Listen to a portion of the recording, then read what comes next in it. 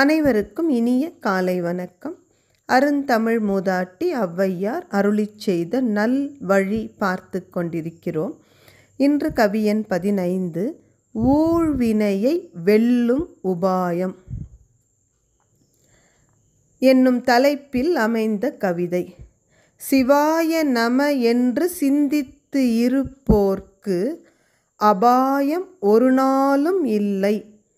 உபாயம் இதுவே மதியாகும்.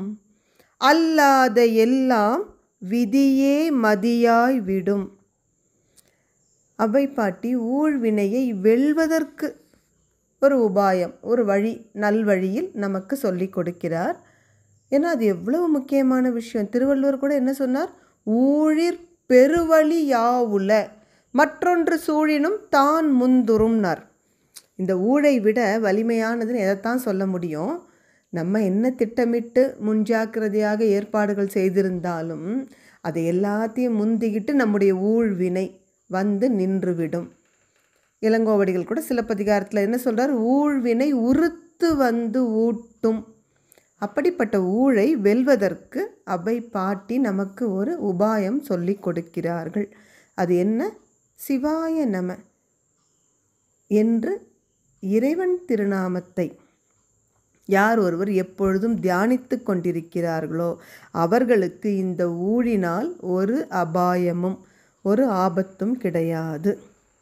அப்போ ஊழை வெல்வதற்கு உரிய மந்திரம் எது என்றால் இறை வழிபாடு மட்டும்தான்.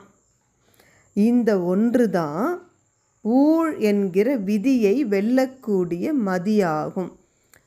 இந்த ஊழ்வினையை வெல்வதற்கு உரிய அறிவு எது என்றால் இறைவனை பற்றிய அறிவு தான் அது இல்லாமல் நீங்கள் வேறு எந்த வகையில் ஏற்பாடு செய்தாலும் திருவள்ளுவர் சொன்னது போல் மற்றொன்று சூழினும் தான் முந்துரும்னு முந்தி வந்து நின்றுடும் அதை அவ்வை பாட்டி எவ்வளோ அழகாக சொல்கிறாங்க நீங்கள் மற்ற வழியிலெல்லாம் இந்த விதியை ஊழ்வினையை வெல்வதற்கு முயற்சி செய்தால் அங்கே என்ன நடக்கும் தெரியுங்களா?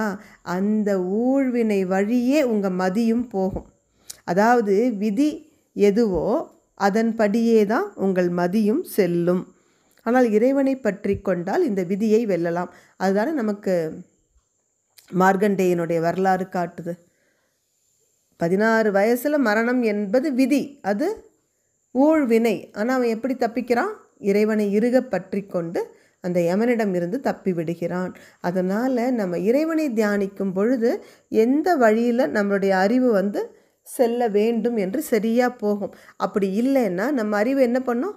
அந்த ஊழ் விதி வழியே தான் அதுவும் செல்லும்.